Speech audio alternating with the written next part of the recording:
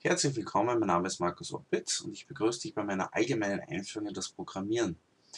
Allgemein bedeutet hier,